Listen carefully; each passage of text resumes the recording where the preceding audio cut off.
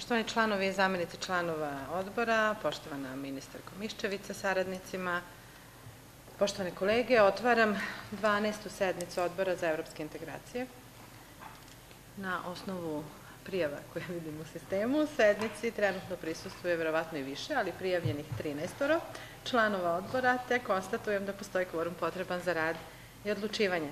Današnjoj sednici prisustuje i ministar za evropske integracije, profesor dr. Tanja Miščević, koju pozdravljamo sa saradnicima, Miroslavom Gačevićem, VD pomoćnikom ministarke i Draganom Radojčić-Vilković, načelnikom. Ministarki bih se zaista zahvalila na prisustvu. Sećate se verovatno da je na jednoj od poslednjih sednica rekla da ukoliko smo mi spremni i voljni, e, da je e, ona voljna da bude tu i na mesečnom nivou i da nas e, obavesti o najnovijim dešavanjima. E, mi smo formalno, kad usvojimo dnevni red, vidjet ćemo, znači, izabrali dve teme, ali vi naravno možete i šire e, da pričate i da poslanici iskoriste priliku i da vas e, pitaju. Zahvaljujem se zaista na vrlo konstruktivnoj saradnji ministarki, ali moramo da odradimo još nekoliko formalnih stvari.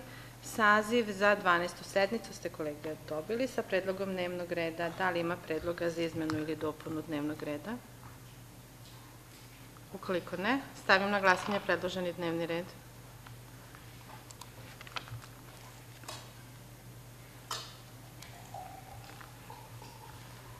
Zahvaljujem. Konstatujem da odbor utvrdio dnevni red.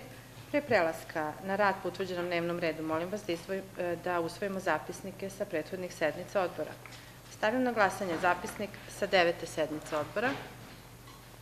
Molim da se izjasnite.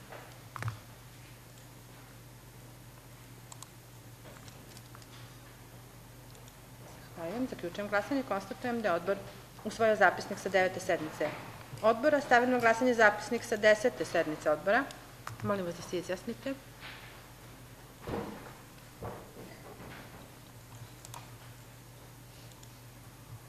Zahvaljujem. Zaključujem glasanje i konstatujem da je odbor usvojio zapisnik sa desete sednice odbora. Stavim na glasanje zapisnik sa 11. sednice odbora. Molim vas da se izjasnite.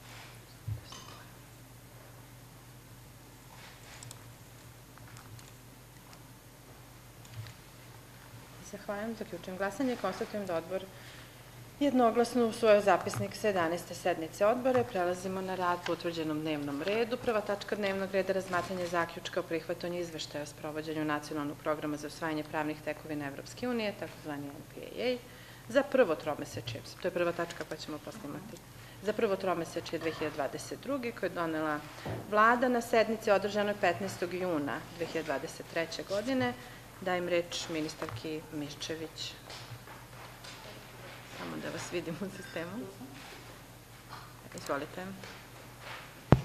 Hvala vam najljepše predsednice, uh, uvaženo dama, gospodo uh, poslanici, kao i uvek članovi odbora za evropske integracije, kao i uvek je, velika mi je čast uh, da evo posle letnje pauze započnemo i razgovore sada u jesen na temu evropskih integracija, procesa pregovora. I da, kao što reče predsednica, uvek spremna da razgovaramo i šire od onoga što je samo na današnjem dnevnom redu. No da iskoristimo priliku i da zaista razgovaramo o nečemu što nam je od početka bilo tema razgovora, a to je nacionalni program za usvajanje akija, dakle lista onih pravnih akata, to su i zakoni i podzakonski akti, koji su u našem postojećem nacionalnom programu predviđeni da budu usvojeni u prvom, odnosno drugom kvartalu e, ove godine, jer je to izveštajni e, period. I dalje ne možemo biti zadovoljni, procenat je 25, odnosno 27%, kada poredite sa onim što čim smo počeli, koji je bio ispod 10%, jeste napredak, ali ne možemo biti zadovoljni. Ali ono što nikako ne možemo da izračunamo, a vi to vidite i u Skupštini, jeste da zapravo imamo jedan značajan broj zakona, a time i podzakonskih akata, koji su pre, predviđeni i planirani za kasnije faze našeg usklađivanja, kasnije od 23. godine, ali zbog potrebe procesa, za okruživanja procesa, dolaze nešto ranije. E, nemamo instrument kojim ćemo to izračunati, jer bi sa tim naš procenat bio bolji. No, da ostanemo na, na tome da je naša polazna osnova da nismo na dobar način u ovom momentu radili na usklađivanju i to je osnovni razlog zbog koga krećemo dalje zbog čega smo e, zapravo u fazi e, prelaska na jedan potpuno novi digitalizovani sistem, odnosno platformu, i to znači da naša ministarstva i tela neće više raditi tako što će nam slati dokumenta, mi ih unositi i pratiti, već ćemo svi zajedno raditi na elektronskoj platformi. I mnogo značajnije, ta platforma će uvezati obaveze iz procesa sa godišnjim planom rada vlade, što se do, i zato imamo tu diskrepancu, što se do sada nije dešavalo. Zašto? Zato što su naši planovi raniji, vlada e, prema, e nakon formiranja pravi prema e, onome što su strateški prioriteti svoj plan rada vlade, dok mi dostignemo u pisanoj formi korak sa tim planom, već smo napravili izbrku. Sa uvođenjem digitalizacije e, u čitav proces ćemo stvari i olakšati, ažurirati i naravno onda biti e, i mnogo efikasniji. Godina koja je definisana u tom planu koji radimo je 25. O tome sam i prošli put ovde Eh, vam eh, govorila, kao godina završetka eh, procesa usklađivanja sa sistemskim zakonima u svakoj od, naravno, politika Evropske, Evropske unije kao takve, ali ono što nisam prošli put rekla, to je da smo, Dragana Radovićić je zapravo zadužena za ovaj sistem, ona je načelnica dugogodišnja u ministarstvu i vidjeli ste, dolazila i ona sa nama. E, tehnički su počeli unose i mi očekujemo da pre kraja godine imamo u potpunosti pripremljene planove za 24. a onda, e, a onda idemo i dalje. To su osnovne informacije oko MPA, izveštaje ste dobili, zato ja prosto ni ne bih da ulazim u detalje šta je od zakona prošlo, šta nije, koja podzakonska akta. Ono što bih voljela da iskoristim priliku jeste šta nas očekuje u narednih par meseci do kraja ove godine. Prva i osnovna stvar koja nas očekuje je godišnji izveštaj ili mnogo šire, dakle paket proširenja, 8. novembra, ja mislim da smo sada gotovo sigurni da će to biti 8. novembra, po prvi put će paket proširenja sem izveštaja o napretku e, za region Zapadnog Balkana, za šest kandidata, potencijalnih kandidata, plus Tursku, obuhvatiti tri nova kandidata, potencijalna kandidata i to je dakle ukupno 10 godišnjih izveštaja biće interesantno porediti. Neke od uh, kandidata koji su došli iz druge politike Evropske unije u politiku proširenja sa našim napretkom, Strah me je ocenjivanja i poređenja u tom smislu, jer se zaista uh, onda porede različite stvari, pa prosto moramo biti uh, oprezni kada uzimamo posebno numerički te ocene, znači deset izveštaja će izaći. Druga jako važna stvar, komesar Varheli će predstaviti plan razvoja. Plan razvoja je operacionalizacija onoga što je u novoj metodologiji phase-in, ubrzana, pojačana, pojačano uključivanje ili integracija, što je e, najpre predsednica von der Leyen predstavila u jednom svom govoru na međunarodnoj konferenciji, ali onda komesar Varheli zapravo e, preuzeo palicu i od juna meseca radimo svi zajedno sa kabinetom njegovim, naravno, na definisanju a šta je plan razvoja. Plan razvoja je odgovor na naše zahteve da što pre imamo opipljive rezultate iz procesa, to je više uključivanje u jedinstveno tržište i u politike jedinstvenog tržišta, ali to prati regionalna integracija u istim tim oblastima u regionu Zapadnog Balkana, biva podržano od strane dodatnog finansiranja u rebalansu EU budžeta ili višegodišnje finansijske perspektive, to su ona sredstva 2 plus 4 milijarde, 2 milijarde granta, 4 milijarde povoljnijih zajmova i sve to uz napredak u reformama. Ne mogu, nažalost, dalje od toga, zato što prvo oblasti potencijalnog bržeg uključivanja još uvek nisu u potpunosti definisane.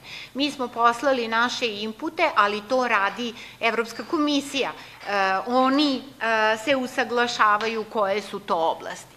Oko sredstava za reforme opet ne mogu previše jer je to stvar koja će doći u decembru nakon razgovora država članica o paketu rebalansa e, e, budžeta.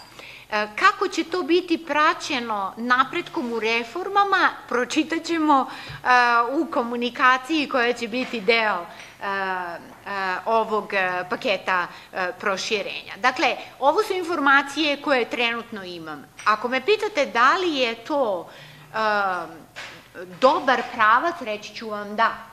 Dakle, ideja je da u onim oblastima gde je napredak načinjen, kao što je digitalno, kao što je um, energetika, gde smo već deo energetske zajednice, kao što je transport, da ta dobra iskustva našeg usklađivanja, a Srbija tu zaista stoji jako dobro, prenesemo na regionalnu integraciju, a to već radimo kroz energetsku i transportnu zajednicu, ili roaming za Zapadni Balkan, što je digitalno, i da time možemo u ranijim fazama poslati, postati pardon, deo istih ovih politika na nivou Evropske unije. Dakle, a, ono što sad očekujemo jeste da čujemo šta će države članice reći na. Dakle, e, na to nemam odgovor e, u ovom momentu, pa ćemo sačekati i videti do kraja godine i e, vi znate da posle godišnjeg izveštaja do kraja godine na savetu, a onda i na samitu Zapadni Balkan, Evropska unija i to je jedna od stvari za koje znam, 16. decembra je predviđen samit, to je doba predsedavanja Španije još uvek, tada će biti reči i o rezultatima dogovora oko ovoga plana razvoja. Šta imamo još između toga? Imamo neformalni sastanak ministara spoljnih poslova i unutrašnjih poslova koji su Zapadni Balkan, Evropska unija, vrlo važni formati, naravno razmene stavova i mišljenja.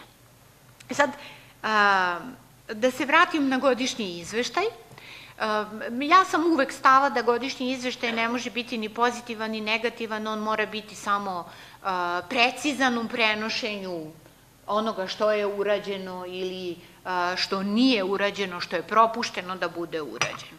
Ako, ako me pitate nakon razgovora u Briselu kako, kako mi se čini da će ovaj godišnji izveštaj biti definisan, mislim da će napraviti pregled svih pozitivnih stvari koje su do sada urađene, a pozitivne stvari od prošlog, koji kao što se sećate dolazi o, u momentu formiranja nove vlade e, upravo, to je bio naš prvi susret odmah nakon e, formiranja vlade, će konstatovati napredak u uh, reformi pravosuđa za okruživanje u ustavnim amandmanima, usvajanju zakona, formiranju tela i tražiti trek rekord.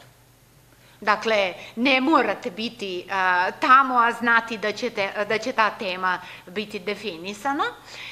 Druga stvar, borba protiv korupcije. Konstatovaće nacrt strategije za borbu protiv korupcije koja se trenutno nalazi u raspravi između Evropske komisije i Ministarstva pravde, jer je Ministarstvo pravde napravilo jednu široku raspravu na ovu temu učešće, uz učešće civilnog društva, ali je istovremeno i sve preporuke iz Greko zapravo sve elemente Greko preporuka unelo u tekst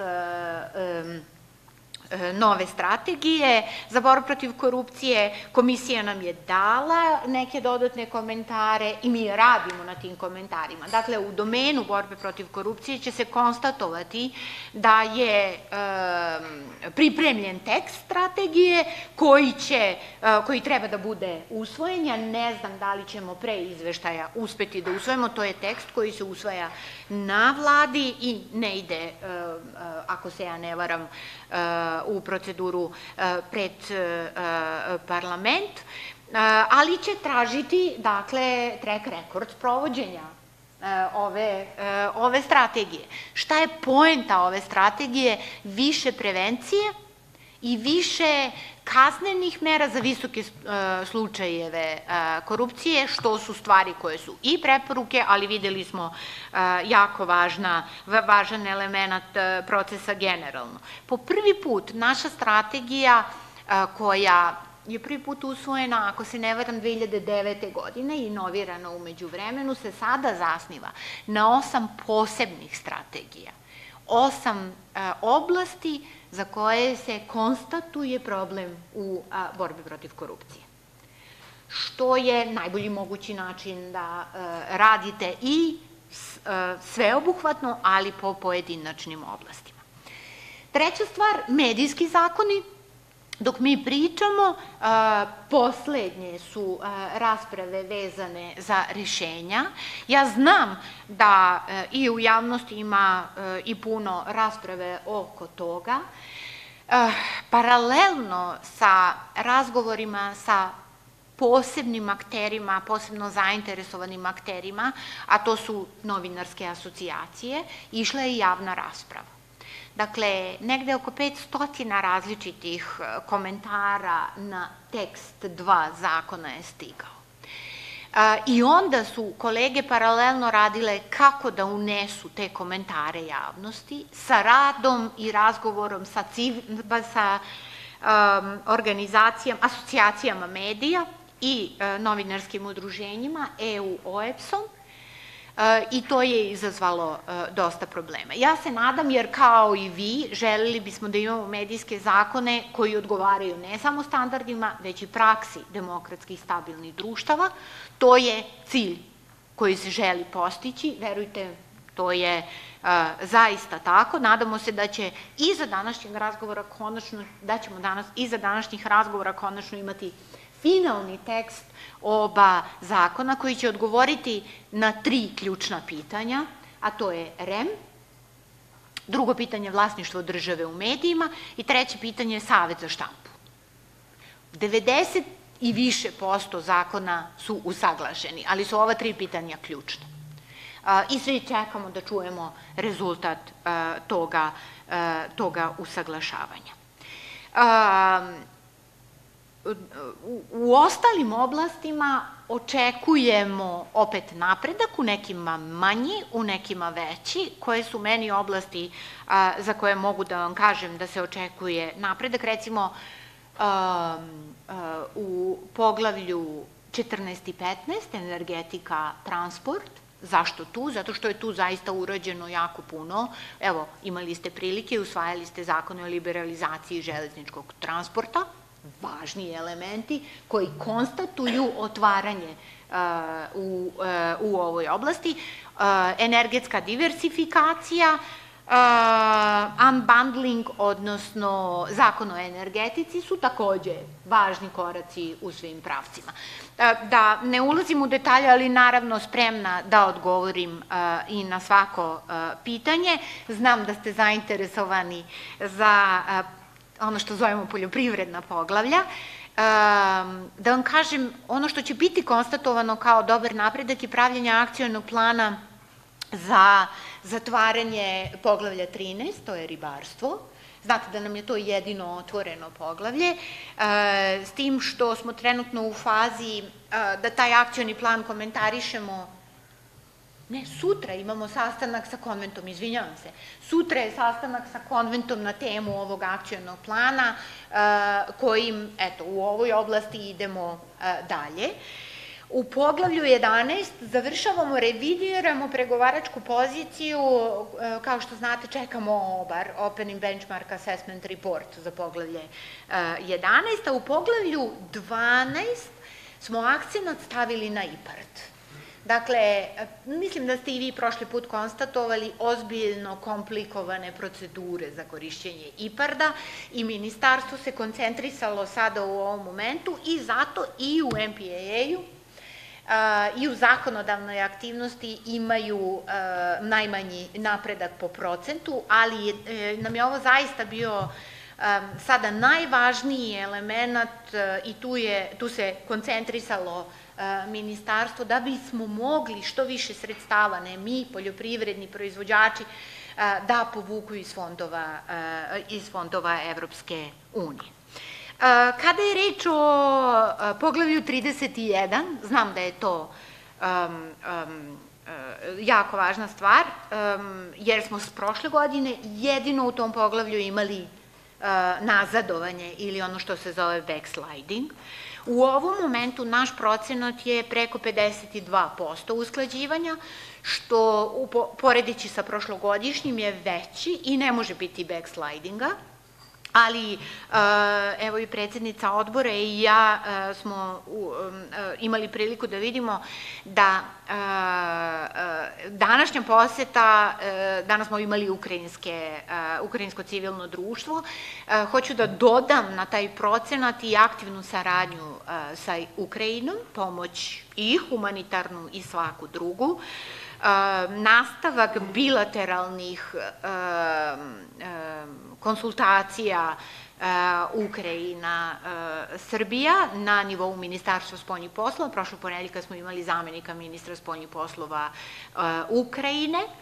Nastavak pomoći, čekamo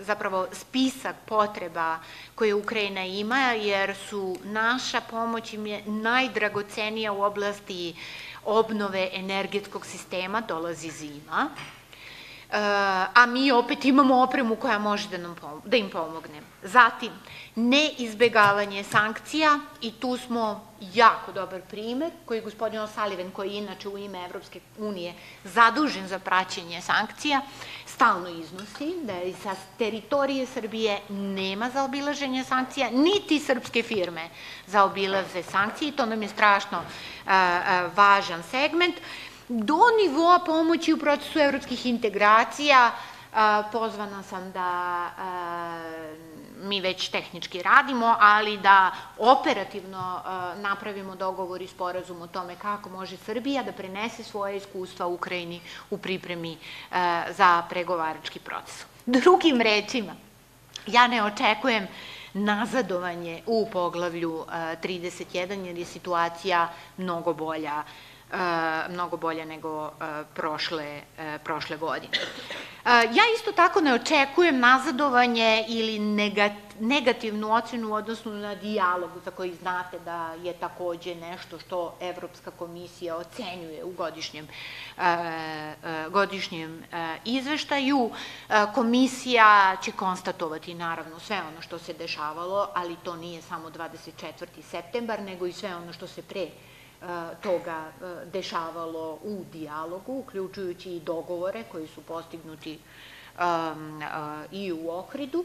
Podsećam, dogovori koji su taj sporazum, a zatim i implementacioni koji se dogovorio, taj prvi dogovor i implementacije iz Ohrida, nisu nikada ni trebali da budu sporazum. Oni treba da postanu deo poglavlja 35 jer Evropska unija ima instrument da prati dijalog kroz poglavlje 35 e, u e, slučaju, e, u slučaju Srbije.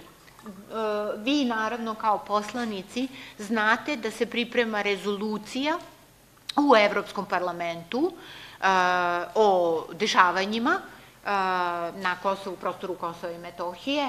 Pratimo kako ona izgleda, zapravo ne, ne možemo još da pratimo, jer još nemamo nacrt e, rezolucije, ali e, e, pratimo i razgovore o tom tekstu kako bismo mogli naravno da damo i informacije i ono što su rezultati istrage, istrage do sada.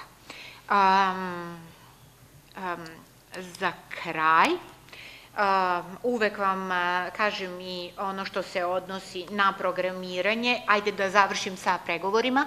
Trenutno završavamo i u, na, u proceduri je usvajanja pred vladom, sva, a to je pratim Draganu, tri, ja mislim, dokumenta koje su vezana za poglavlje 1, to su strategije i akcioni planovi, kako bi te, ta dokumenta naravno predstavili i vama u procesu njihovog usvajanja i zvaničnog slanja Briselu.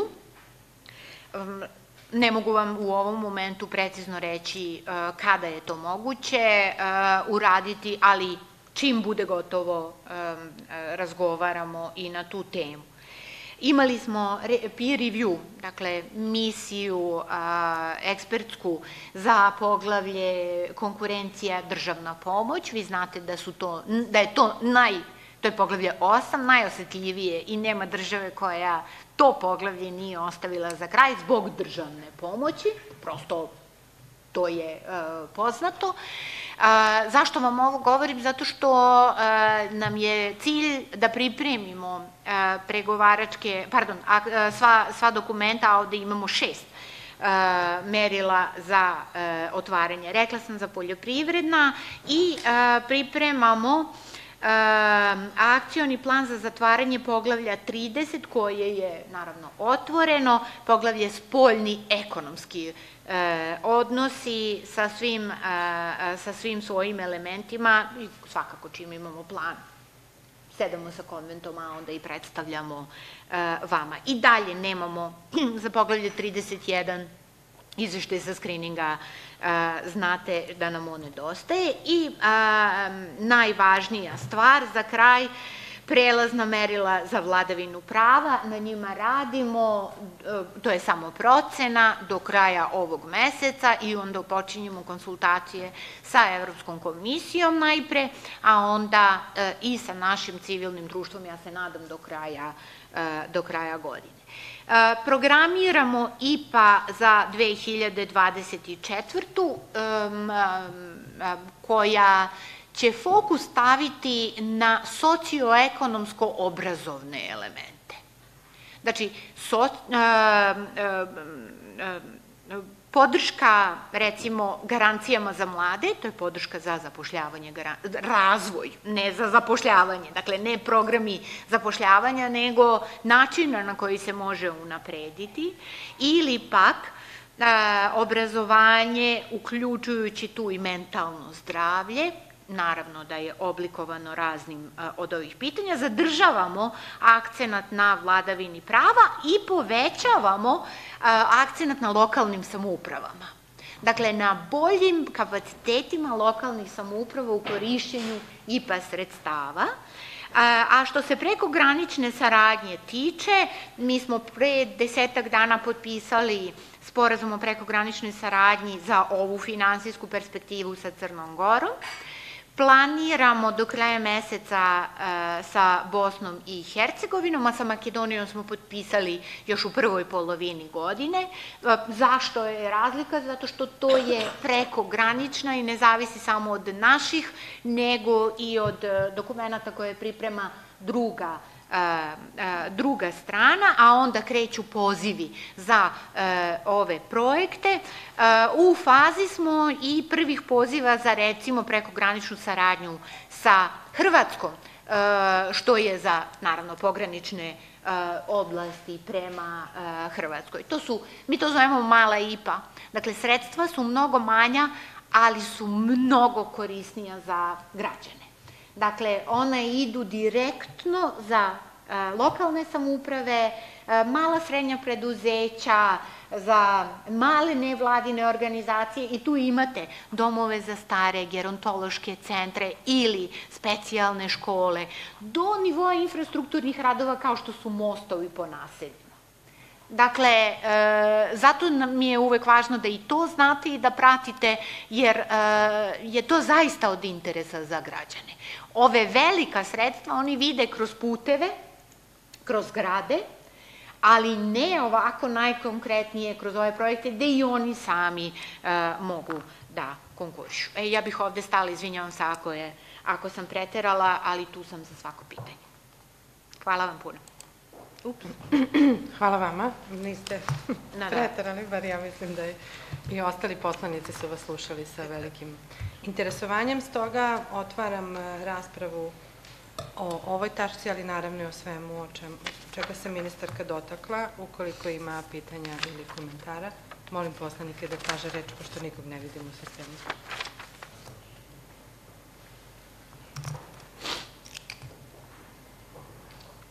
Reč ima narodni poslanik Robert Kozma. Hvala predsedavajuća. Zahvalio bih se takođe i ministarki na, na, na izveštaju i opet stvarno podržavam ovu pozitivnu praksu da se ovako iscrpno predstavljaju izveštaj i da o njima razgovaramo i hvala vam što ste se osvrnuli i na neke druge teme koje nisu izveštaju, koje tek e, predstoje. Ja bih e, ovde da vratim razgovor na osnove, a to je na jel, uspostavljanje vladavine prava i borbe protiv korupcije. Mi smo pre nekoliko sednica, upravo vi i ja, čini mi se, imali jednu razmenu mišljenja oko e, zakona o linijskim infrastrukturama, odnosno zakona kojim se ukinuo e, zakon o linijskim infrastrukturama, da ne govorim sada pun naziv tog zakona. Vi ste tada rekli da je, i ja se slažem sa time, ukidanje tog zakona bila, važenje tog zakona bila dobra stvar, zato što je taj zakon, od kada je donešen 2020. godine, zapravo mogućio da se zaobilaze javne nabavke pri izgradnji linijske infrastrukture, a to je, nadam se, složit ćemo se, jedan eufemizam za zapravo to da se takvim zakonom omogućavalo podsticanje jedne koruptivne, koruptivne praksi i nameštanje projekata infrastrukturnih koji su dodeljivani, mahom tada uglavnom kompanijama u vlasništvu Narodne republike Kine i e, signal od strane Evropske unije tada je bio da taj zakon mora da se ukine upravo zbog ove prakse kojim se omogućava koruptivno delovanje, izobilaženje javnih nabavki. Taj zakon je nakon dve i po godine važenja ukinut. Tada smo se složili da je dobra, to dobra stvar.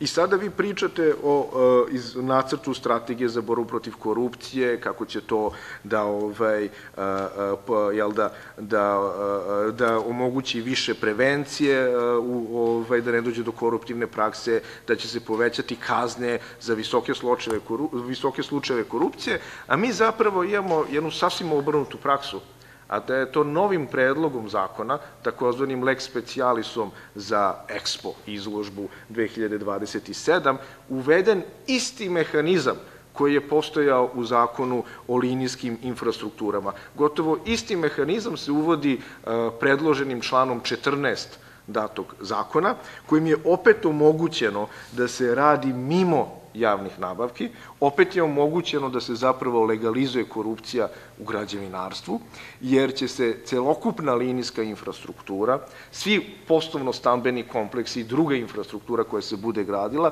moći raditi mimo zakona o javnim nabavkama, a za izgradnju te infrastrukture naša država će se zadužiti i to već e, pre, preko milijard, nekoliko milijardi evra. Već sada ulaze e, e, zakoni o zaduživanju naredne tri godine, gde se mi zadužujemo za milijardu evra kredita, kako bi se izgradila data linijska infrastruktura, dati poslovno-stambeni kompleksi, stadion i tako dalje, a omogućit će se i uneće se isti mehanizam koji je kritikovan upravo zato što podstiče koruptivnu praksu, koji je bio na snazi dve i po godine, zatim se Evropska unija i tekako s razlogom žalila, ali žalili su se i građani Srbije, jer prosto novac, naš novac, građana Srbije, bilo da dolazi iz zaduženja i zajmljova ili dolazi tako što je uzet od poreskih obveznika, u konačnici opet poreski obveznici ga isplaćuju, taj novac mimo javnih nabavki odlazi ne onome ko bi možda bio najbolji izvođač, nego onome ko je najbliži izvođač onima koji su na vlasti. Znači, isti mehanizam se uvodi novim zakonom, takozvanim lex specialisom za EXPO, Taj mehanizam postojao dve i po godine uh, u zakonu o linijskim infrastrukturama. Vi ste ovde na odboru kada smo ukidali taj zakon, govorili kao da je to napokon dobra stvar, bez osvrtanja na to zašto je opšte postoji jedan zakon o linijskim infrastrukturama sa takvim mehanizmom. Nas dvoje smo se složili da je ukidanje tog zakona bila dobra stvar i sada se opet isti mehanizam uvodi i na taj način omogućava legalizacija korupcije u građevinarstvu. Zamolio bih vas da prosto da nam kažete mišljenje vašeg ministarstva i da li ćete vi učiniti nešto povodom toga da se eventualno izmeni ovaj predlog zakona. Jer verujem da će to i tekako uticati zapravo na izveštaj o stanju i borbi protiv korupcije u Srbiji. Hvala vam, s obzirom je ostalo još vremena, to ću pri nekom drugom javljanju. Sakupit ćemo komentare svih poslanika. Reč ima narodna poslanica dr. Jelena Kaličić. Hvala predsjedavajući. Poštovanje svima. Ja ću se osvrnuti na na ova dva zaključka o prihvatanju izveštaja o sprovođenju nacionalnog programa za usvajanje pravnih tekovina Evropske unije. Naime, kada sam čitala ova dva zaključka, ja moram da vam kažem da mi je bilo izuzetno poražavajuće da pročitam to da smo u prvom tromeseču za 2023. godinu bili usklađeni 12%, odnosno da je doneto pet propisa od ukupno 41, a da je usklađeno za drugo tromeseče iznosilo 22%. Ako pogledamo 2022 2022. godinu, za treći i četvrto tromeseče bilo svega 7%, tako da može se videti neki pozitivan e, uticaj e, Ministarstva za evropske integracije da idemo ka tome da, da, da uspešnost bude e, veća.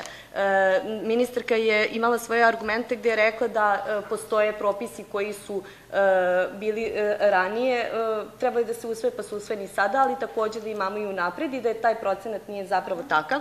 Međutim, ja delimično se slažem sa vama, ali isto tako u nekim segmentima ne, tako da ću objasniti i zbog čega.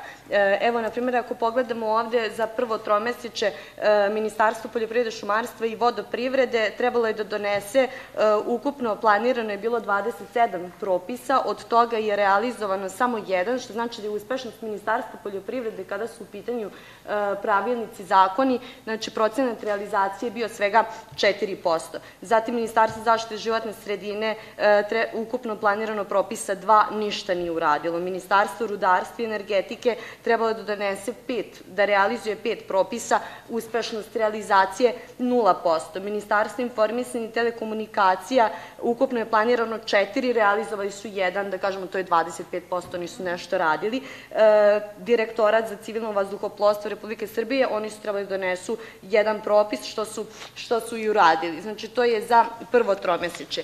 Slična situacija jeste i, i kad pogledamo drugo tromesiče 2023. godine, evo, na primjer, opet imamo Ministarstvo poljoprivrede koje treba najviše da se usaglasi sa Evropskom unijom, trebali su da donesu 11 e, odnosno 11 e, pravilnika i naredbi i jedan predlog zakona. Znači, to je ukupno planirano 12 propisa. Znate koliko su radili? Nisu ništa uradili u prethodnom tromesečju. Ministarstvo zaštite životne sredine Ukupno planiran jedan, ništa. Ministarstvo građevinarstva trebali su pet, uradili su tri, znači oni su nešto radili. Ministarstvo rudarstva i energetike bili su uspešni 39%, znači jedino ta dva ministarstva. Ostala ministarstva koje su trebalo da rade nešto, Znači, uspešnost je 0% za drugo tromeseče. E sad, vi ste rekli da su oni nešto radili, e, usvajali su ranije pravilnike koji su trebali ranije, da, da se usvoje ili unapred. Ono što je zanimljivo jeste da je unapred ispunjene obaveze da je zakon o izmenama i dopun, sporni zakon o izmenama i dopunama zakona o planiranju i izgradnji, on je trebao da se usvoji 2024. godine, međutim, on je došao na dnevni red ranije. A kada govorite o tome da, da je nešto uh, rađeno znači, u ranijem periodu, evo, na primjer, Ministarstvo poljoprivrede, ako uzmemo prvo i, uh, ova sad tromeseča koja gledamo, znači ono je trebalo da usvoji negde oko 40 pravilnika, naredbi, predloga zakona, a Ministarstvo poljoprivrede, evo, oni su uradili, Ministarstvo poljoprivrede, šumarstva i vodoprivrede, Uradili su zakon o izmenama i dopunama zakona o posticanju poljoprivredi i ruralnom razvoju i još dva pravilnika. Znači, to je samo tri propisa od ukupno 40. Pa me zanima šta vi kažete na to, da li ste ustanovili problem, očigledno da problem neki ima, čim toliko toga treba da se usvoji, da se uskladi, očigledno da se to ne radi dovoljno dobro i koji je vaš plan za dalje? Mi, šta, mi može, šta može da se uradi kako bismo mi, na primjer, bili uspešni 40%, 50%, ako je prioritet države Srbije da ide u Evropsku uniju, ja smatram da mi treba da, da, ovaj, da, da ta usklađenost bude dosta veća nego što je to sad treba. Hvala. Zahvaljujem. Reč ima zamenica predsednica odbora, Dubravka Filipovski. Samo nekoliko komentara da dam. Vi ste zaista, ministarka Miščević, dali jedan iscrpan izveštaj o godišnjem radu i u njemu se vidi, vide aktivnosti i ministarstva u, u ovaj, smeru evropskih integracija. Što se tiče e, komentara koji sam e, žela da, da dam, odnosi se pre svega na izlaganje m, kolega, da jednostavno nema koruptivnog delovanja i zaobilaženja bilo kakvih firmi, to je samo u glavama jednostavno pojedinih kolega. E, postoje lek specijalisi, međudržavni ugovori, oni se koriste svuda u svetu. Ja bih samo postavila pitanje kako se rade e, olimpijske igre u Parizu, znači u Francuskoj, u zemlji članici Evropske unije, nego lek specijalisima i međudržavnim ugovorima, sigurno ubrz, užurbano se radi da bi se sve stiglo i sigurno ne može po principu redovnih javnih nabavki, tako da i Srbija prati taj tempo uh, napretka i rada u oblasti infrastrukture.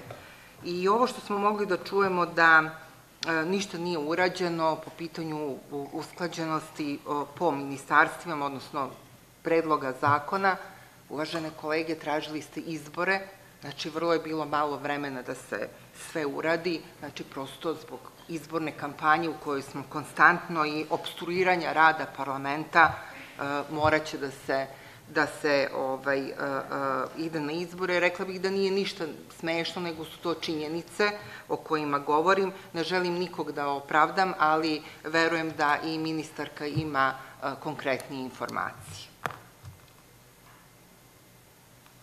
I još neko od članova odbora želi reč u ovom delu sednice? Ja ne vidim nikog od vas, da? Morate da se prijavite, jer nikog ne vidim. Reč ima narodna poslanica Ksenija Marković. E, dobar dan svima. Moje ime je Ksenija Marković, narodna poslanica Demokratske stranke. Ovaj, drago mi je, ovaj, ministar Komišćević, što ste se ovaj, dotakli jedne jako važne teme, a to se tiče stanja u medijima i medijske, i medijske strategije. A, naročito je važno to što ste istakli da ta medijska strategija, isto kao i strategije za borbu protiv korupcije, trebaju da budu usmerene sa jednim ciljem, a to je da izgradimo jedno snažno demokratsko društvo i to apsolutno ne mogu sporiti ni u jednom momentu. Međutim, imamo jedan problem. S jedne strane imamo kreiranje medijske strategije koja treba da ima cilj, ali stvaranje snažnog demokratskog društva, a onda dobijemo izmene medijskih zakona, konkretno zakona o elektronskim medijima, koji predstavljaju još jedan pokušaj da se na brzinu nametnu neke antidemokratska i dugoročno veoma štetna ovaj, rešenja, i pokušaj u stvari da se ubije svaka šansa da se čuje glas kritike u ovoj, u ovoj državi i u ovom društvu. Moram reći da je jasno i nešto što, to, to je nešto na što su upoćivali znači, i građani na protestima Srbije protiv nasilja, da mi imamo na delu jednu jasnu zloupotrebu nacionalnih frekvencija kao javnog dobra od strane tele, određenih televizija, to je televizija koji su pre, najviše, čini mi se, usmereni na to da budu propagandni servis režima.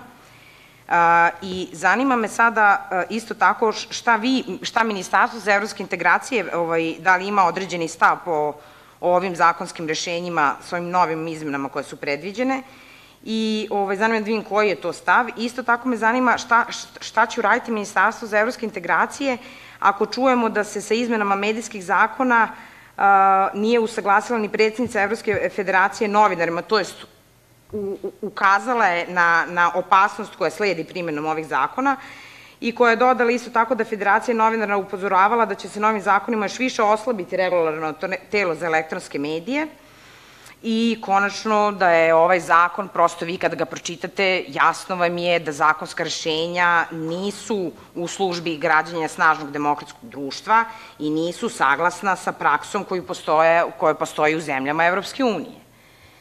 Tako da me sada, zanima mi koja je vaše lično ovaj, mišljenje o ovom zakonu i da li ste vi zaista lično ubeđeni da ovaj zakon sa ovim novim idejama koje imamo može doprineti izgradnji snažnog demokratskog društva u Srbiji. Hvala.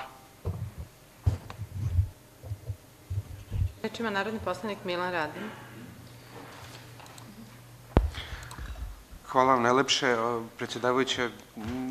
Nisam planirao da se ali malo sam sad ovde doveden u stanje aporije. Ovaj, ministar, kako možete i meni da pojasnite što se tiče medijske strategije, Evropska federacija novinara predstavlja koji zapravo deo izvršne ili zakonodavne vlasti u Republici Srbiji, a što se toga tiče i takođe uvažena koleginica je pominjala neke nedemokratske tekovine i slično, ali nije dalje to obrazložila, mislim, obično nije dosta samo nešto reći pa da to samim činom izgovorene reči postane to što jeste, to bi onda bilo mnogo lakše da je tako, ali ili što se kod nas u selu kaže što je babi milo, to i sisnilo. No, ako možete samo, molim vas, to malo da pojasnite, pošto nije baš najjasnije ni meni, a izgleda ni drugima. Hvala vam. Zahvaljujem. Reč ima narodni poslanik Natan Albahari. Zahvaljujem se. E, samo ću kratko, e, dok sam slušao i ministarku i, i ovu raspravu, e, što se tiče našeg celokupnog puta ka, ka Evropskoj uniji. E, mi ovde vidimo da, ako kažemo ovaj tehnički deo, što znači usklađivanje raznih zakona i propisa sa Evropskom unijom, e, nije, kao što ste sami rekli, kao što možemo konstatujemo, nije na zadovaljujućem nivou i ima još puno toga da se, da se radi.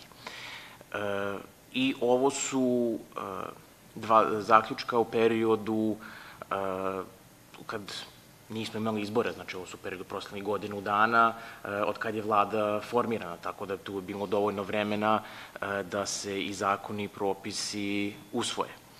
E, s obzirom da ne ide sve po planu u ovom delu, a što se tiče političkih kriterijuma, tu znamo da imamo velike probleme kad su u pitanju, kad je u pitanju spoljna politika, kad su u pitanju neka osnovna prava, kad je u pitanju dijalog sa, sa Kosovom.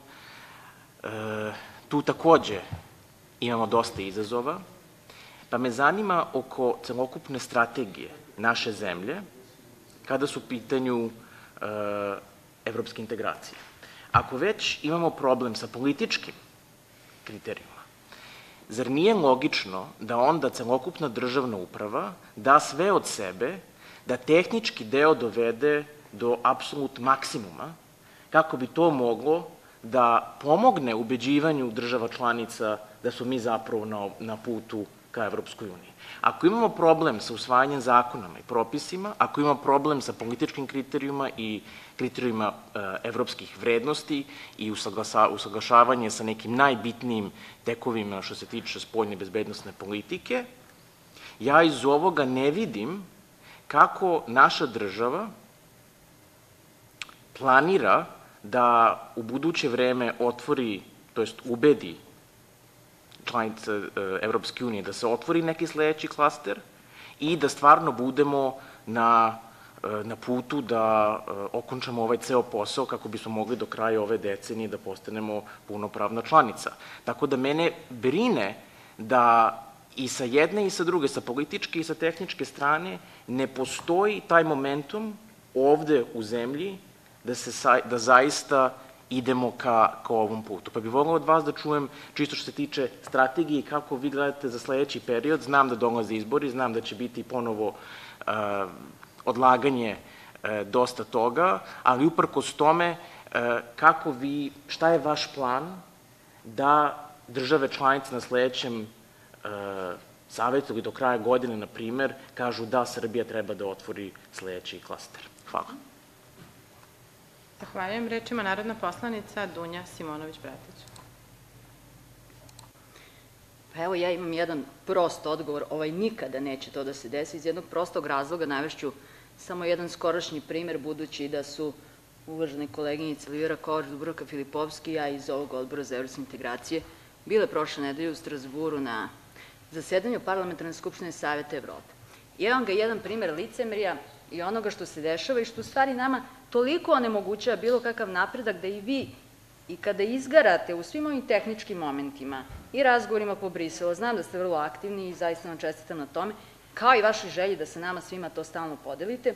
Recimo, skoro nam je bio izvestilac za monitoring ispred Saveta Evrope, uvaženi kolega poslanik u Parlamentarnoj skupštini Saveta Evrope, Aksel Šefer iz Nemačke. I šta se desilo? Čovek je bio tu, full agenda, video se sa svima iz svih mogućih ministarstava, NGO-a, sa poslanicima, predstavnicima ovaj, svih parlamentarnih grupa. I mi kada smo došli na to zasedanje, šta se desi? On je te papire za monitoring, za njegov oral report, dao predstavnici opozicije da dopisuje detalje koji odgovaraju ovim ovde. Iako je bio, iako je razgovarao sa svima, znači mi smo apsolutno u jednom totalnom ludilu i šizofreniji. Znači sve što i dobro uradite i što dobijete pohvalu, na kraju ćete, baš zbog tog političkog uticaja, njima ne odgovara da mi napredujemo i onda imate ove dušebrižnike koji naravno zarad svojih političkih ciljeva će da rade sve živo i neživo, a naravno postaknuti i velikom podrškom određenih zapadnih zemalja za koje znamo, pogotovo za Nemačku što radi u Savetu Evrope i sa aplikacijom Kosova za, za ulazak njihovo u, u tu međunarodnu organizaciju.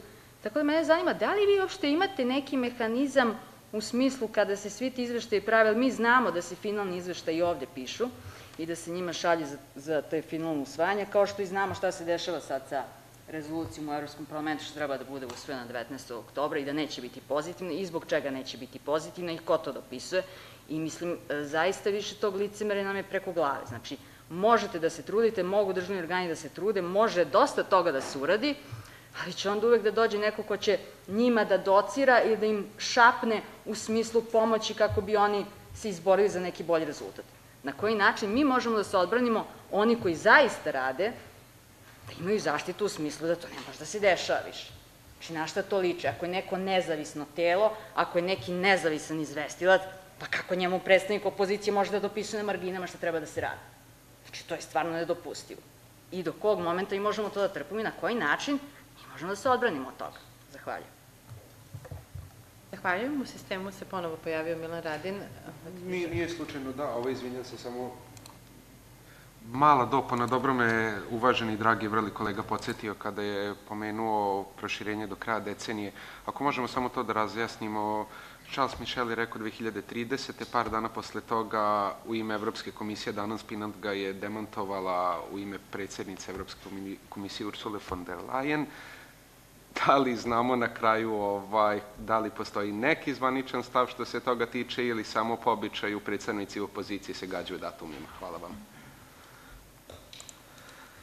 Dubravka Filipovski. Evo, upravo sam i objavljena kod nas svest iz Tirane od predsednika Makrona, koji je rekao da jednostavno je nemoguće da e, bude određen datum do 2030. za bilo koju zemlju kandidata. Evo, to je zvanična izjava predsednika Francuske iz Tirana. Zahvaljujem. Ne vidim nikog više u sistemu, ali ću ja zaista e, vrlo kratko. Samo da nas vratim, znači najpre smo razgovarali o izvršenju NPA-a za prvo tromesečje ove godine.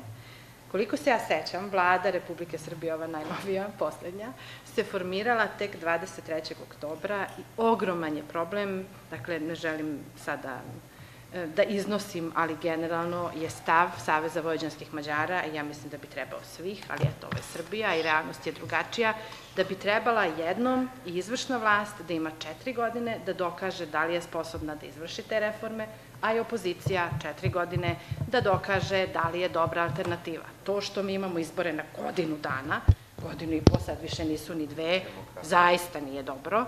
I jednostavno je logično da dok se formirala najnovija vlada i ministarstvo i tako dalje, mi fizički nismo nimali vremena, pošto se uvek povlače ti predlozi zakona, da dobijemo nove predloge zakona da se tu radi. Iz toga vi ste u potpunosti u pravu što se tiče iznošenja tih brojeva, ali smatram da je to jako veliki problem i nadam se da posle ovih najnovijih izbora će jednom, ćemo jednom doživeti i to da nemamo prevremene izbore i da se zaista fokusiramo malo e, i na posao.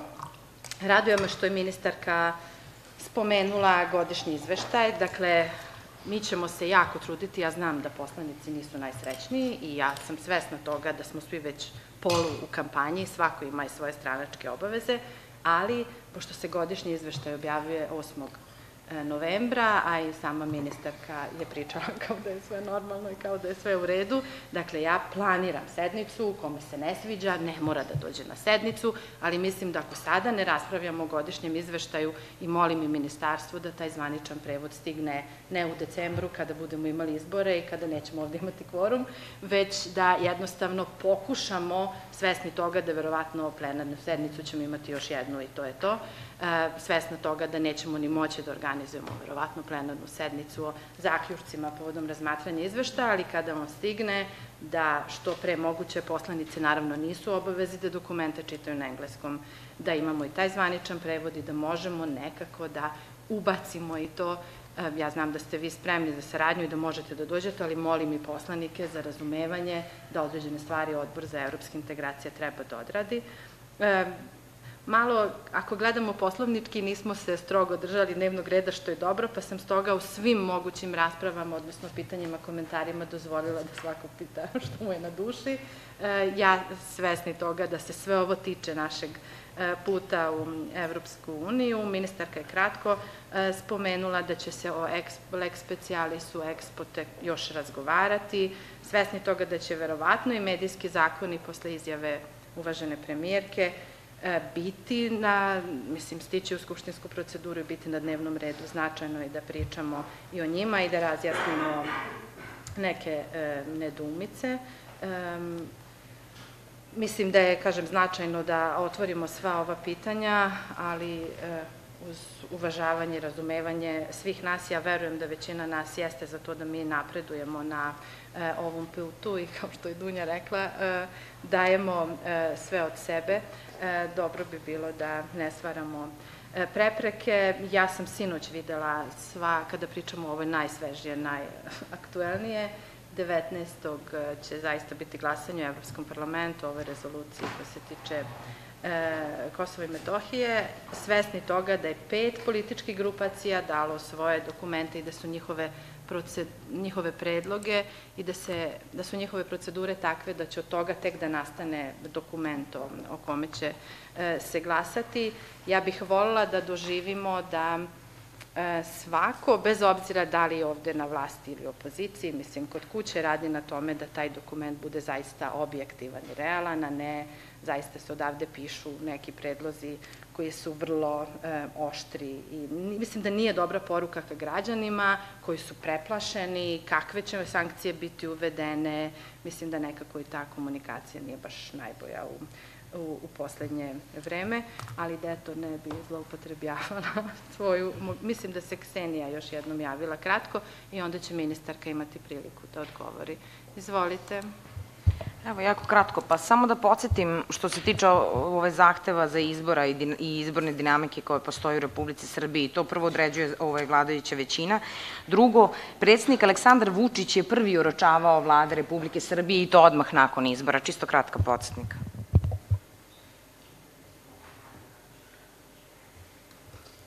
Ali samo, samo sekund, evo, ministarka sa moment.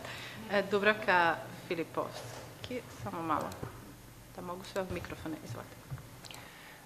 Mislim, može ovde da se kaže šta hoće, žao mi je što se sada rasprava na odboru prebacila na politički teren, ali je potpuno jasno da je opozicija tražila izbore i da je pri tome imala pismo u kojem nije ni znala ni šta ni kako piše, pa smo pa je to nekako rastumačeno i demokratija je da se kada opozicija traži izbore izađe uz, na, za, ovaj, u zahtev opoziciji i mi upravo to i radimo zato što ste jednostavno tim i neveštim pismom tražili izbore i obstruisanjem parlamenta na zadnjoj sednici o rebalansu tražili ste izbore i to je već potpuno sudo i raspravljati o tome, a naravno da predsednik Vučić raspisuje parlamentarne izbore, da predsednik parlamenta raspisuje deo lokalnih izbora na vaš zahtev, tako da mislim da tu nema ništa sporo. Da, ja mislim da nema potrebe da raspravljamo o tome, svi smo vrlo srećni spremamo se za najnovije izbore, samo ne bi bilo loše da na našem putu ka Evropskoj uniji posle toga i radimo na reformama i da ih primenjujemo, stoga dajem reč ministarki za evropske integracije, izvolite. Hvala vam. Hvala vam najlepše na brojnim pitanjima, ali i vašim pogledima, to je takođe jako važno razumeti. E, I drago mi je da ovde uvek imamo otvorenu e, raspravu na ovu temu, tako da se nadam da ćemo i u dobroj veri i nastaviti ovo. Ajde da krenemo od ove poslednje stvari tehničkog dela, a to je godišnji izveštaj, njegovo objavljivanje i prevođenje. Ja sam se okrenula, proverila, treba nam 15 dana za prevod. Krenut ćemo od prevoda, naravno, našeg izveštaja, izveštaja za Srbiju, pa ćemo onda ići dalje i čim budemo imali prevod za, uh, izveštaj za Srbiju, onda delovi idu uh, u enlargement package, u paket, tako da bit će malo komplikovano, ali ćemo se stvarno truditi da to bude u što kraćem roku je moguće, da bismo mogli, na, mogli napraviti predstavljanje izveštaja i razgovor o, o ovom izveštaju, bez obzira na situaciju, prosto svima nam je važno da o tome razgovaramo. Ja sasvim sigurna da neke stvari, kao što sam vam već rekla, mogu da vam kažem da će stajati, jer prosto pratim stvari. Mogu da vam kažem da će ponovo biti zeleno svetlo za otvaranje klastera 3, ali opet, da li će Srbija otvoriti klaster 3, zavisi od država članica a, i od političkog dela koji, za, gospodine Albahari, samo da prosto se razumemo, Prvo, Srbija nema nikakav problem u tehničkom usaglašavanju sa Evropskom unijom. Da nema, to smo pokazali kroz činjenicu da smo do sada otvorili 22 pregovaračka poglavlja, da smo dva privremeno a, zatvorili i da smo spremni za otvaranje i klastera tri godine koji ni malo nije jednostavan, jednostavan klaster. Nema političkog, dakle, jako puno tehničkog ima i u političkim kriterijumima. Ako uzmete da su politički kriterijumi dijalog Beograd-Priština, kako se on zapravo zove, i naravno usaglašavanje koji je novi kriterijum. Ja vas podsjećam da mi u metodologiji pregovora i u našem sporazumu o stabilizaciji i pridruživanju imamo postupno usaglašavanje. Vi znate, naravno, bavite se tom materijom.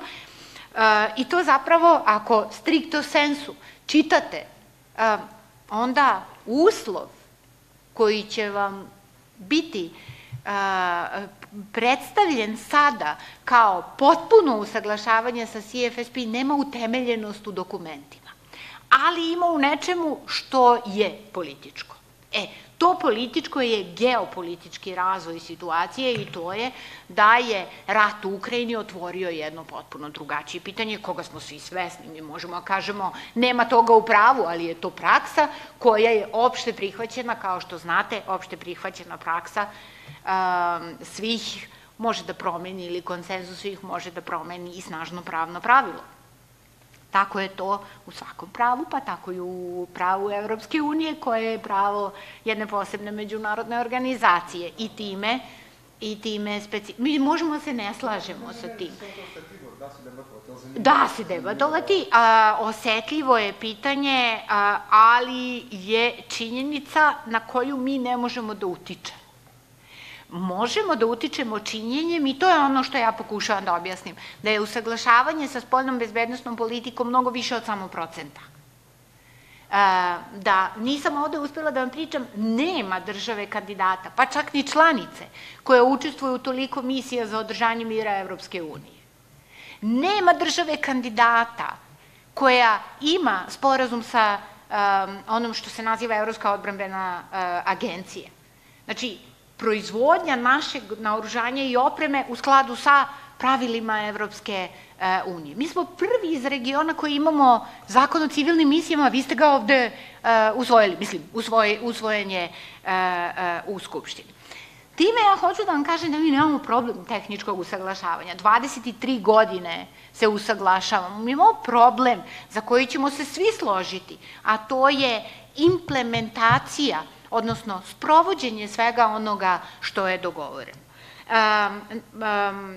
Ono što je problem koji ja opažam na ovaj način, u našem kašnjenju kako smo evo konstatovali kroz ovaj izveštaj u saglašavanju, jeste činjenica da smo mi jedan dobrani broj zakona zapravo usporili u usvajanju zbog javnih rasprava. Evo vam zakon o medijima, medijski zakoni. Dakle, da je postojala želja da to bude onako kako je potrebno vlasti i vladi, Zašto bi se uopšte vodila rasprava? Zašto bi se sedam puta na tu temu raspravljalo i vraćali se napred, nazad? I zašto zapravo danas opet razgovaraju na tu temu? Ja bila na javnim raspravama, ne znam da li ste vi bili, i slušala dijalog između novinarskih udruženja oko Saveta za štampu, recimo. Dakle, sugestija Evropske komisije je jedan savet za štampu samo regulatorno telo. Vlada razumela, to je taj model. Ali šta ćete sa dva saveta za štampu koje su neka, neka, neke asocijacije novinara već formirali? Zato što su oni smatrali oni treba da imaju. I imaju podršku različitih drugih asocijacija. Dakle, to je ozbiljan problem sa kojim se suočavate. S jedne strane, vi u domenu medija, nemate puno akija, prava Evropske unije. Zašto se čvrsto držite? Imate praksu, ali vi imate i države koje imaju vlasništvo države, države članice koje imaju vlasništvo države u medijima. Dakle, što sad ne bi imala Srbija to pravo? Ali ste napisali u medijskoj strategiji da država izlazi iz vlasništva ili ako postoji onda je tvrdo praćenje od strane REM. Um, sličan slučaj smo imali sa zakonom o unutrašnjim poslovima koji je prerastao u zakon o policiji. Znate kada smo počeli raspravu sa civilnim društvom? U januaru mesecu. Krenulo se od priče biometrija. Podsećam vas samo. Uh, ne biometrije, pardon, uh, face recognition, kako se to kaže? Da, da, da, ali kako se to, to, to nije biometrija, nego je drugi, izvinjavam se, tehnika je u pitanju. Naše civilno društvo, dakle, naše Ministarstvo unutrašnjih poslova stavilo predlog u uh, zakon zato što je to postalo praksa u modernim policijama u svetu. Ok, prepoznajemo mnogo jednostavnije. Naše civilno društvo nam je došlo i reklo da, ali naš razvoj nije u tom, na tom nivou da bismo mogli garantovati bezbednost i slobode paralelno. O tome se ljudi radi. Da čujete kada ste vlast i vlada šta je stav druge strane civilnog društva koja nije druga strana ili a, već građani koji izražavaju za e, zbog toga je meni, da vam iskrena budem, jako drago što u tim oblastima kasnimo, jer smo otvorili raspravu koja je nemerljivo važnija od procenata. To je, što rekao gospodin Kozma, suštinski element demokratske debate. I ona mora da postoji u svim oblastima kao, uh, kao takva. Da, kada imate praksu, a nemate pravo, onda imate pravo da svi komentarišu i daju svoje mišljenje. Uz dužno uvažavanje svih koji daju svoje mišljenje. Svako mišljenje treba slušati. U ovom slučaju, kada je reč o medijskim zakonima, relevantan je uh, OEBS. I on od početka sa nama radi na, uh, ovom, na predlogu tri zakona. Jedan je ranije, a to je zakon o elektronskoj komunikaciji i sada su ostala još ova dva, zajedno sa delegacijom Evropske unije ovde u Beogradu, a mi čim imaju uh, tekst, uh, šaljemo Evropskoj komisiji na dodatnu kontrolu, odnosno praćenje. Samo je jedan segment i taj je vezan za REM, to je direktiva o audiovizualnim uslugama, izvinjam se ako ima još neki deo, koja je strašno važna za pružaoce usluga i ona mora biti kontrolisana od strane regulatornog tela. Ali pazite, ima tu jedan segment i to je, ako mene pitate, i moje duboko uverenje.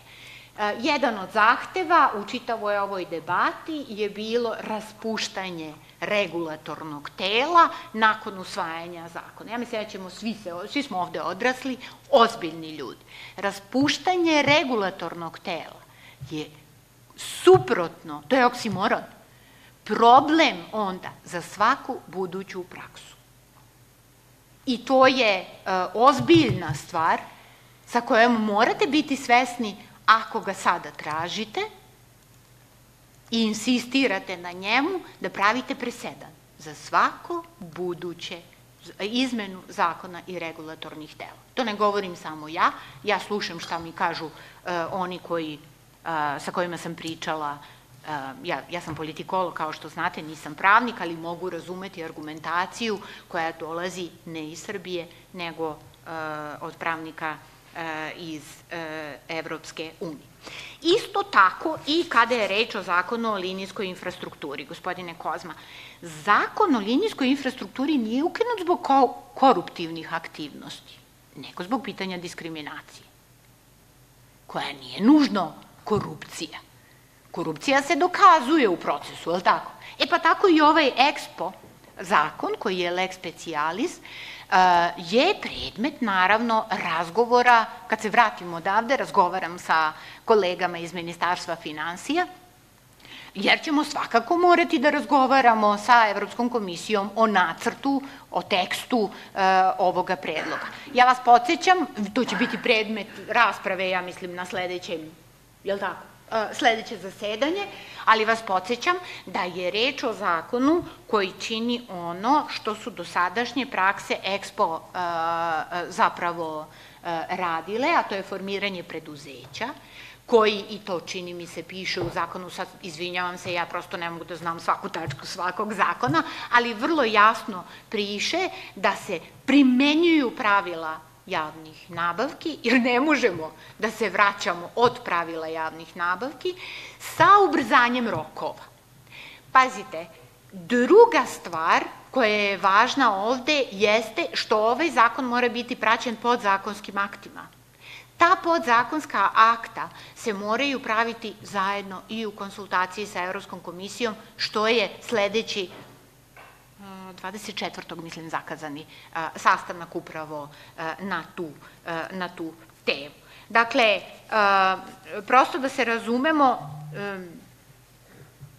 o, ja sam, a i kolege koje se ovim bave, vrlo ozbiljna, kada je reč o tome šta se treba uraditi, šta je moguće uraditi, a ne kršiti pravila ni domaća, a ni pravila Evropske unije i dobrano pratimo i pratit ćemo posebno i u ovom slučaju, jer smo, mislim, videli smo da to izaziva kontroverze ovde u velikoj meri. Da. Pa sad ja moram da vam kažem da ne bih ja rekla da njima ne odgovara da napredujemo. Um, mi smo tu gde smo, u centru Evrope. Pazite, za koju godinu mi ćemo biti unutrašnja spoljna granica Evropske unije kada Bugarska i Rumunija postanu deo Šengena. I to je prosto neodrživ model. Mora postojati interesovanje. E sad, Ono što moramo voditi računa je šta, ko i kada govori. Dakle, za naš proces pregovora je važna Evropska komisija, važne države članice. Uz dužno uvažavanje, znate da jako cenim poslanike i domaće i drugih država i Evropskog parlamenta, uloga parlamenta u ovom procesu je, da vam citiram ono što smo mi čuli ovih dana, politička uloga. ne da prate činjenice, nego da da političke ocene. Evo, Miroslav ja sedeli na sastancima sa poslanicima Evropskog parlamenta i to je, to je bio razlog. Računajte da se spremaju evropski izbori. Dakle, kao poslanici znate šta je poenta svake izgovorene reči u parlamentu. Ona ide pre svega u nacionalnu sferu i šalje se, šalje se kao tako. Ali to meni, u, da, mi smo u vrlo ozbiljnoj komunikaciji, ja sam prošle nedelje razgovara prošle, da, prošle nedelje sa svim grupacijama političkim upravo u nameri da predstavim činjenice. Ja ne mogu uticati na zaključke, ali mogu da predstavim činjenice. Ono sa čim se ja potpuno slažem to je da političke grupacije u Evropskom parlamentu nemaju informacije. To znači da političke stranke i snage odavde ne rade uh, sa svojim političkim grupacijama. Ne mogu ja. Ja prosto nisam osoba koja može, ali mogu sa izvestiocima da uh, uh, razgovaram i da im prenosim, prenosim činjenice. Zašto? mislim da ne treba na taj način razgovarati. Um, 2030. neće nikada biti navedena kao godina. Ali samo pominjanje 2030. i uz sve ono if, but, uslove je za nas jako važno. Prvo što tehnički nam zaokružuje proces. A drugo, sad ovo mi možete verovati i ne morate verovati. Nikada nisam videla toliku zainteresovanost država članica u dosadašnjoj svojoj praksi bavljenja za tu godinu kao sada.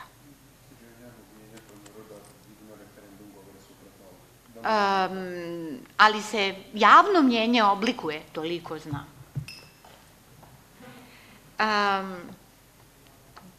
Ja, izvinite, sam nešto E da, da, zakoni. E, zašto je posebno e, e, gospođa Kalajđić izvukla neuspeh, da tako kažemo, Ministarstva poljoprivrede? Ministarstvo se suočava, mislim da smo prošli put pričali o tome, sa e, nefleksibilnosti domaćeg pravnog poredka u odnosu na pravilnike. Pravilnici Evropske unije u domenu poljoprivrede M su najbrojniji, M se brzo menjaju i mi ne možemo da pohvatamo, ne možemo da stignemo taj tempo. E, toga nema u drugim oblastima kao što je to bezbedno, osim u oblasti bezbednosti hrane. E, problem je što mi nemamo u Srbiji u velikoj meri eksperte koji bi radili u ministarstvu, a bili a pravnici, koji razumeju aki, pravo Evropske unije u toj oblasti. Mi sad to pokušavamo tako što smo napravili lepu saradnju sa plakom placom, centrom koji nam pomaže i obnovit ćemo saradnju kroz bilateralnu saradnju sa kolegama iz Crne Gore, i sa, to je još ostalo, naravno sa civilnim društvom, ali nam je ostalo recimo interesantna činjenica, vi bolje znate materiju, mislim da ne postoji pravo u ovoj oblasti Evropske unije na poljoprivrednim fakultetima u zemlji, gde možemo da uzmemo eksperte da nam pomognu. Tako da bismo voljeli i tu stranu da pojačamo, jer to neće nestati, to će samo da se razvija. Ovo, zajednička poljoprivredna politika će tek verovatno bude reformisana obzirom na Ukrajinu, ne obzirom na nas. E, mislim da, da sam pokrila sva pitanja. Hvala. Vidimo u sistemu još narodnog poslanika Roberta Kosmo, verovatno želi da reaguje, da razjasne. Izvolite. U pravu ste, hvala. E, zahvaljujem se na, na, na, na odgovoru.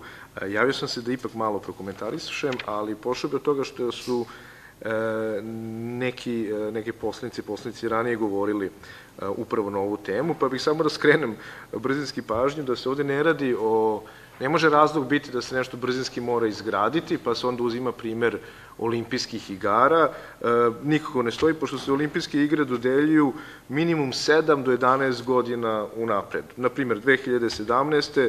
dodeljene su da domaćin 2024. bude Pariz, a 2028. Los Angeles. Što se tiče a, odgovora da se ne radi ovde o koruptivnoj praksi, nego o diskriminatornoj, mogućoj diskriminatornoj praksi, pa je zbog toga bio ukinut zakon o linijskoj infrastrukturi, a sad se isti mehanizam vraća ponovo u lex specialis o expu. Nekome ko gleda sa strane, prva asocijacija bi verovatno i komentar bio nije šija nego vrat.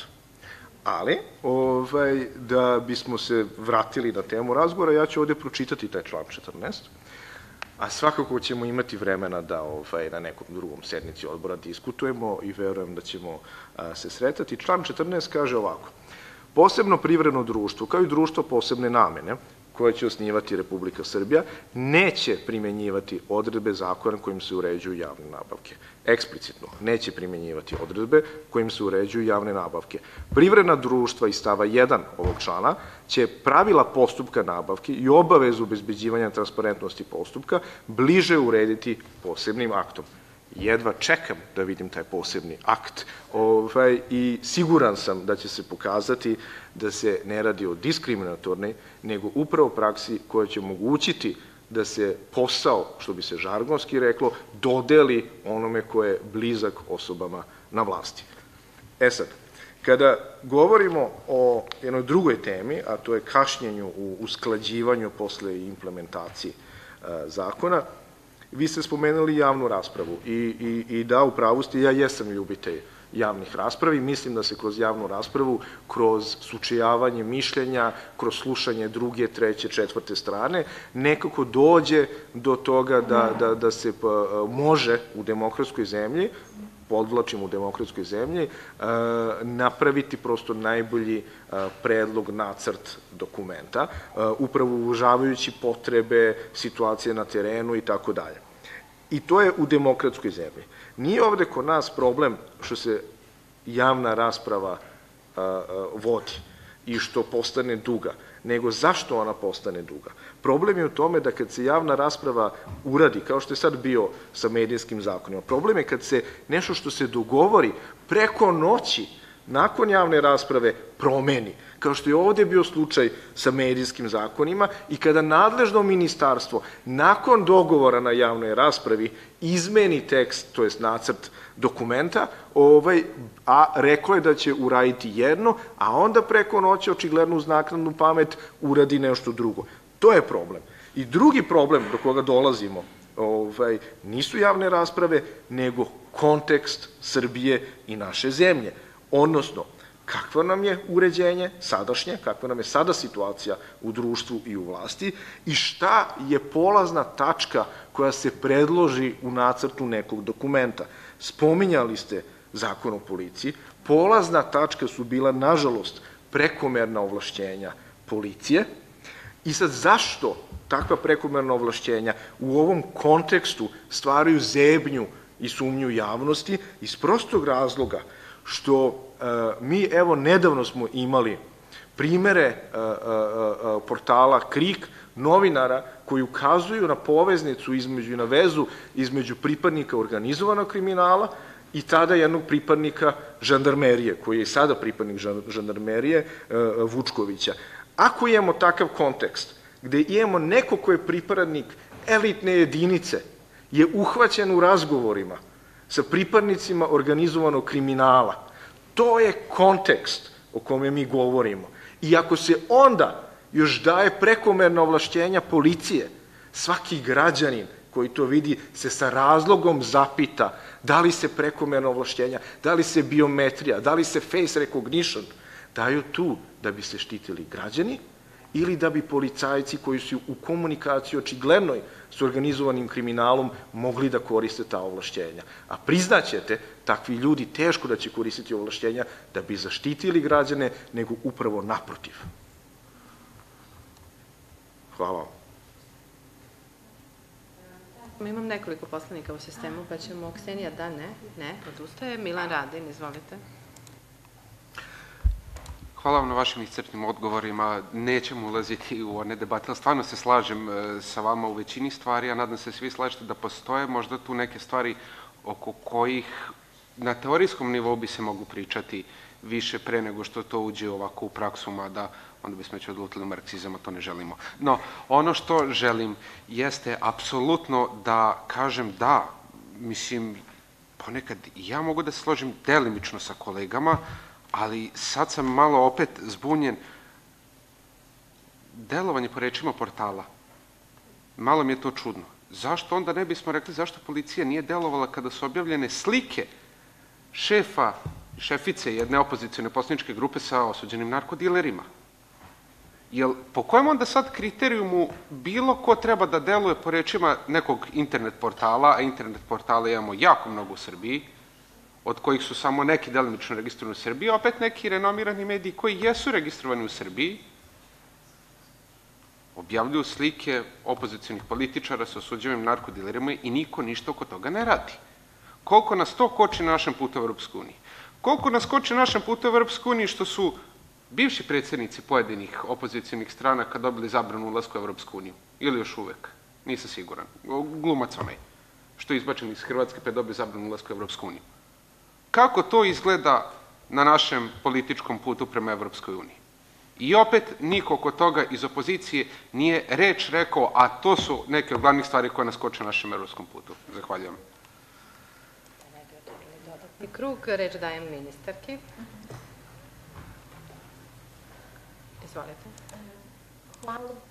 Hvala puno. Bilo bi divno da imamo vremena za teorijsku raspravu, ali to mora. nešto nije u redu, molim vas, samo još jednom mikrofončić. Može. Ali to mora van, van ove sale. Malo sam zarađala teorijski, moram da priznam, jer se bavim ovim stvarima svakodnevne aktivnosti koje su više praksa nego što je, nego što je teorija. Da, da, okej. Prevazilazimo mi i u Feuerbach. A, ja bi najviše volela da pričam o dekonstruktivizmu koji pomaže u... Ok, a, koji pomaže u razumevanju nekih od stvari, ali možemo i o tome a, jednom prilikom. A, no, ono što zapravo hoću da kažem, ja vam čvrsto stojim kod toga da će tema realizacije lex specialisa i tekako biti praćena. Um, I ona će biti praćena i u kontekstu ekonomskih kriterijuma, i u kontekstu državne pomoći, i u kontekstu poglavlja 23, i u kontekstu javnih nabavki. Dakle, uh, a ljudi koji su pravili predlog zakona su sasvim svesni um, ne samo od mene, nego i njima rečeno, a i oni pristali, kaže vam, naredne nedelje imaju sastanak sa Evropskom komisijom o pripremi a, podzakonskih akata za koje sam vam odmah rekla da moraju da idu, a, kojim će se operacionalizovati rješenja a, iz ovoga, iz upravo ovog člana koji ste vi ovde naveli. Ja se danas viđam sa njima, da čujem šta, su njiho, šta je njihova e, argumentacija i kakav je naš e, pristup u, u, ovom, e, u ovom smislu. E sad, um, ono što um, je za mene bilo uvek interesantno uh, jeste kako mi različito razumevamo stvari. I ja ne mislim, ne, nikada ne volim da govorim o lošoj nameri, ali prosto različito razumevamo stvari. I to je nekako normalno i ljudski. Pitala sam i ja, bila jako zainteresovana šta se dešava sa medijskim zakonima. Mi smo bili u Briselu kada su nam prošli ponedeljak, utorak, rekli ovo je poslednja sednica uspešno prošla i nismo to čuli od drugoga nego od naše koleginice iz ministarstva koja je pratila uh, debatu. A onda je i vlada izašla, premijerka izašla sa stavom to je dogovoreno, ali ono što se umeđu vremenu dogodilo jesu komentari koji su pristigli iz javne rasprave i koji su unete u tekst zakona. Predloga, pardon, zakona. Razumete o čemu a, govorim. Dakle, a, ako ćemo ispravno, naša debata na ovu temu se vodila sa onima koji su informisano civilno društvo. Oni koji su zainteresovani za materiju. Ali ste vi imali 500 komentara koji su došli sa druge strane, a da nisu direktno oni koji su članovi 2, 3, 5 udruženja, a, a čiji glas takođe morate da čujete. E onda su se sudarila dva a, predloga i to je zato tražen dodatni sastanak ako se ne varam, domaćin je gospodin Bratu eh, današnjem eh, upravo razgovoru, kako bi se najzad i konačno mm, tri verzije koje ja imam, a koje treba poslati kao verzije koje Brisel treba da gleda, su nalaze trenutno na našem desktopu. Ali meni treba jedna koja je saglasnost, postignuta saglasnost i nadam se da će to, stvarno mislim da će danas biti postignut dogovor, jer kažem vam, postoji stvarno dobra vera. E, to vam nisam odgovorila. Verujem da postoji dobra vera da ovaj, ova dva zakona budu u osnovi stabilnih institucija. E, to mi je važno. Dakle, to duboko uh, verujem da to postoji. Uh, kada je reč o zakonu o unutrašnjim poslovima, samo da vam kažem, ne zbog prekomernih ovlašćenja. Ono što je biometrija face recognition tada predstavljalo, Sve su to bile mere koje su pratile praksu drugih policija, koje su pratile razgovore sa Europolom i Interpolom na tu temu. Dakle, nije bila prekomerna, nego je bila praksa za koju, kao što rekoh, je postojao stav ovde, kao što ste vi rekli. Nije Srbija još na tom nivou koja može garantovati da novim sredstvima neće biti prekršena prava. O tome kolege iz Ministarstva unutrašnjih poslova sa um, civilnim društvom upravo razgovaraju. Hvala se pojavila Ksenija u sistemu. Odustala? Nije. Dobro, samo vas molim da sada više sumiramo komentare i pitanja, da ne bi ministarka u četiri puta pa dobar dan, evo samo da ne budem, ovaj, da ne bude da nisam, po, pošto sam dobila ovaj zamerku, da, ni, da nisam bila konkretna o čemu se radi. Kada reč o zakonu o elektronskim medijima, radi se o tome što su usvojena dva stava u članu 122 ponuđenog zakonskog teksta i to su usvojena, znači, van znanje članova radne grupe koji su radili na izmenama medijskih zakona. Vi ste sad ovde, ministarko, pokušali da nam objasnite kako je do toga došlo. Uz dužno poštovanje, to nije dovoljno jako objašnjenje, zato što ova dva člana zakona imaju veoma jednu jasnu nameru i ja se bojim da ta namera nije u dobroj veri i sa, i sa ovaj, bilo kakvom dobrom idejom, a to je da se i ono malo medije koje u Srbiji postoji, a koje nisu pod kontrolom ovaj, vladajuće većine i e, medijskog režima koji se nalazi oko nje e, prosto istisnu iz tržišta ili da se nađe način da se oni kontrolišu, odnosno ucenjuju. Pošto je problem sa sistemom u Republike Srbije, što svaka kontrola ovde se u stvari svodi na ucenu. Ministarka je objasnila, sačekat ćemo kraj ovog sastanka, da ne ulazimo u dodatne detalje, ali formalno, pošto se niko više u ovoj diskusiji ne javlja za reč, zaključujem diskusiju, stavim na glasanje predlog da usvojimo izveštaje o sprovođenju nacionalnog programa za usvajanje pravnih tekovina Evropske unije, NPAA, za prvo tromesečje 2023. godine koje je podnela vlada, odnosno donela vlada na sednici 15. juna. Molim da se izjasne poslanici, ko je za protiv uzdržan. Zahvaljujem, zaključujem glasanje, konstatujem da odbor većinom glasova usvojio izveštaje sprovođenja nacionalnog programa za osvajanje pravnih tekovina Evropske unije, NPA kod nekih nije radilo, zapravo tromeseče 2022. Formalno treba da pređemo na drugu tačku, ali složit ćete se da smo kod prve iscrpili sve teme. Dakle, e, slična tema, samo NPA za drugo tromeseče 2022. godine koje je donela vlada sada nedavno, na sednici održanoj 5. oktobra 2022. godine. Ne bih ponovo otvarala diskusiju, davala reč ministarki i kolegama, već stavljala, stavila predlog e, na glasanje. Dakle, molim da se izjasnite ko je za to da usvojimo izveštaje sprovođenja nacionalnog programa za usvajanje pravnih tekovina Evropske unije za drugo tromesečje 2023. godine koje je donela vlada na sednici održane 5. oktobra. Nadam se da se svima pojavljuje mogućnost glasanja. Da. Zahvaljujem, zaključujem, konstatujem da odbor većinom glasova usvojio izveštaje sprovođenja nacionalnog programa za usvajanje pravnih tekovina Evropske unije NPA za drugo tromesečje. Najlepše se zahvaljujem ministarki i saradnicima. Narodne poslanike molim da ostanu još par minuta, pošto imamo treću tačku dnevnog reda. Zahvaljujem, prijatno. I ovo je poluformalni... Ja. Prelazimo treću tačku dnevnog reda, određivanje delegacije odbora za evropske integracije koje će učestvovati na 70. plenarnom sastanku konferencije odbora za evropske poslove parlamenta država članica Evropske unije COSAC, koji se okviru parlamentarne dimenzije španskog predsedavanja Savetu EU održava od 26. do 28. novembra u Madridu, Krajevina Španija. E, e, Sekretarijat odbora dostavio pismo, nacrt dnevnog reda, Poveštavam vas da sam zainteresovana da učestvujem u svojstvu predsednika odbora za najkraćim mogućim putovanjem u svet kampanje. E, potrebno je da imenujemo još jednog člana delegacije, po mogućstvu iz opozicije, stoga predlažem E, nakon objavljenih konsultacija da u delegaciji budu Elvira Kovač, predsednik odbora i Natan Albahari, član odbora. Da li neko želi reč? Ukoliko ne, predlažem da glasamo u predlogu Dana Kosak plenarni, idu Elvira Kovač i Natan Albahari. Molim da se izjasnite.